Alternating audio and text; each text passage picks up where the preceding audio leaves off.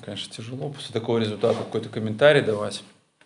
Но если кратко, то в любом случае ответственность лежит на тренере.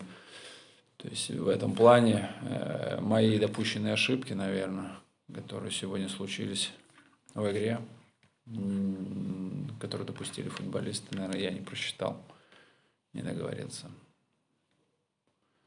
Если брать именно по игре, что, ну, тяжело, наверное, назвать игру. Уже понятно, что условия то одинаковые, но зная то, что энергетик играет э, в силовой футбол, который прессингует нам, но, но у нас как бы немножко другой футбол, из-за этого нам, наверное, было тяжело, поле нам не позволяло совершать наши действия, которые мы хотели. Ну, то, что касается пропущенных голов, конечно, это меня пока что для тренера вообще непонятно как можно пропускать на стандартах, о которых мы говорили, как можно на остальные моменты.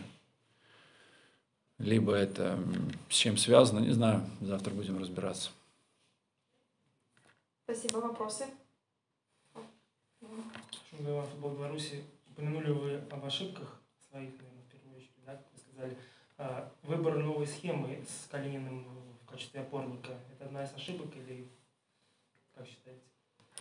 Нет, это не ошибка. Я считаю, что Влад сыграл достойно. И из-за того, что у нас просто Миша э, получил травму, у нас был ограничен выбор, наверное, футболистов на эту позицию.